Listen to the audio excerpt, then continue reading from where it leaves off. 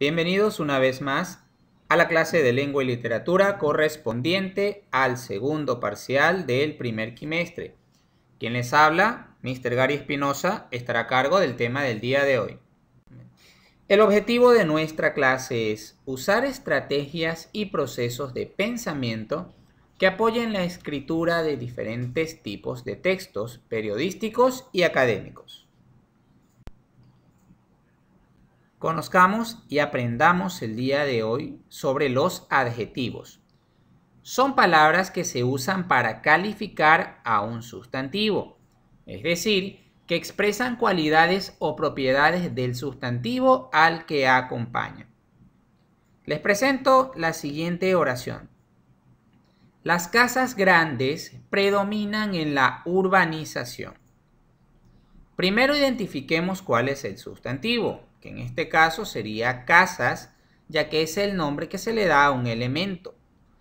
Grandes, que es la palabra que está con rojo, es el adjetivo que acompaña al sustantivo casas, para darle qué? Una cualidad específica, ya que recordemos que casas pueden haber de diversos tamaños, pero en esta oración se menciona que las casas son grandes, es decir, hay una cualidad al sustantivo, que en este caso es casas.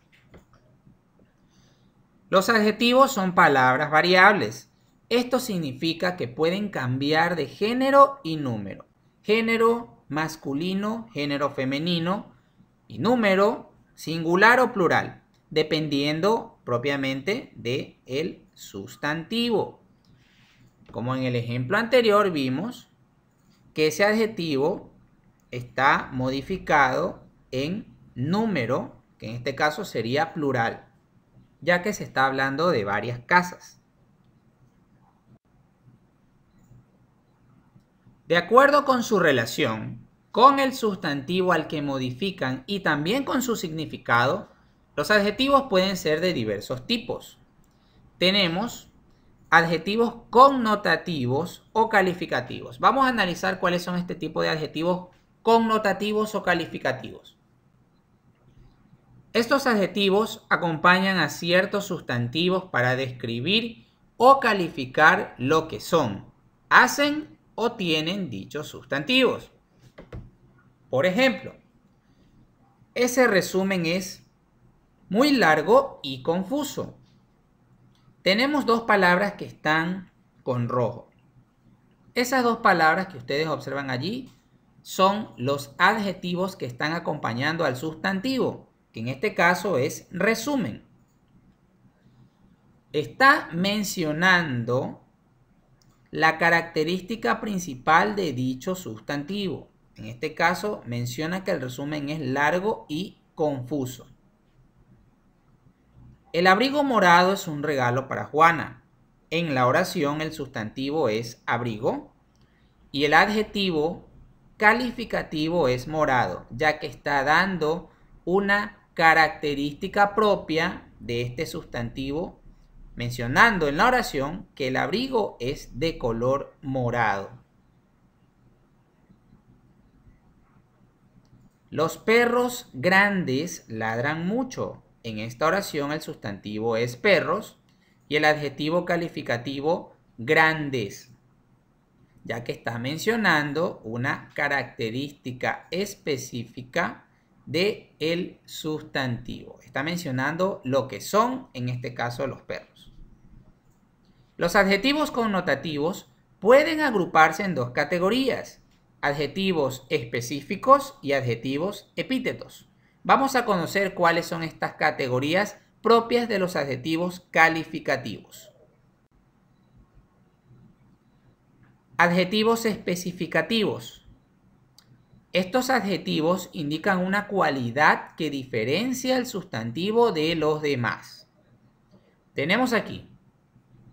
Las chicas decidieron usar los vestidos largos para la fiesta.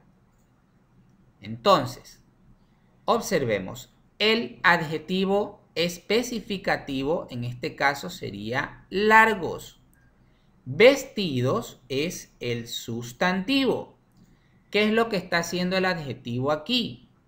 Está mencionando una cualidad que está diferenciando al sustantivo de los demás, porque aquí en la oración encontramos también otros sustantivos. Compraron la salsa dulce. El adjetivo especificativo viene a ser dulce y el sustantivo salsa. Entonces también está mencionando una cualidad que diferencia el sustantivo de, los demás, ya que salsa pueden haber diversos tipos de salsas, dulces, eh, salsas amargas, salsas picantes, entonces le está diferenciando de otros sustantivos que en este caso podrían usarlo también en otras oraciones. Adjetivos explicativos o epítetos. Estos son usados básicamente en la literatura. Destacan características propias del sustantivo al que se están refiriendo. También se suelen colocar antes del sustantivo. Como por ejemplo, la negra noche está llena de misterio.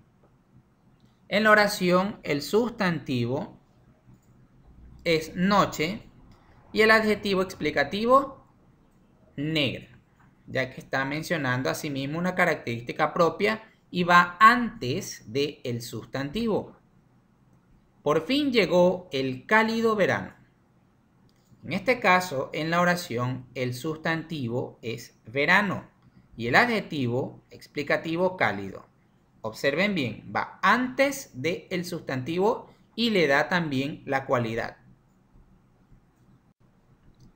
Una vez que analizamos a los adjetivos connotativos, esta vez le toca el turno a los adjetivos no connotativos. Son adjetivos que modifican, pero no expresan las características de los sustantivos a los que se refieren. Tenemos aquí un ejemplo. Todavía no sé cuál, pero veré alguna película. El sustantivo en la oración es película. Y el adjetivo no connotativo es alguna. Modifica en cierta manera al sustantivo, pero no está expresando una característica en particular. Tenemos aquí dos ejemplos. Ese tronco, nuestra casa. Ese es el adjetivo no connotativo que está modificando en cierta manera el sustantivo tronco. Nuestra casa, nuestra es el adjetivo no connotativo modificando al sustantivo casa. No le dan características en particular. Esa es la principal característica de estos adjetivos. Y por supuesto que en este grupo también encontramos adjetivos demostrativos, posesivos e indefinidos. Analicemos cada uno de ellos. Adjetivos demostrativos. Tienen como función señalar un objeto o sustantivo. Con estos adjetivos se puede determinar la proximidad del sustantivo. Cabe mencionar que estos adjetivos no se tildan. Entonces, gracias a estos adjetivos nosotros vamos a señalar en qué parte están los objetos de los cuales estamos hablando, es decir, su cercanía hacia el hablante. Préstame este resaltador. Este es el adjetivo demostrativo que está señalando una cualidad del sustantivo que en este caso es resaltador. Está mencionando la distancia. Entonces, si dice la oración, préstame este resaltador, quiere decir que el objeto, el resaltador, está cerca del hablante. Creo que se subió en aquel taxi. Aquel es el adjetivo demostrativo que está mencionando, señalando cierta cualidad al sustantivo taxi. Entonces, aquel está denotando que el taxi que es el sustantivo, no se encuentra cerca de nosotros. Esos mapas turísticos son los que dibujaron los chicos. Entonces, claramente podemos observar que en la oración encontramos el adjetivo demostrativo, que en este caso es esos, ya que mapas es el sustantivo y está denotando que el sustantivo se encuentra distanciado del hablante. Conozcamos la característica de los adjetivos posesivos. Expresan o denotan posesión. Estos adjetivos indican a quién pertenece un sustantivo.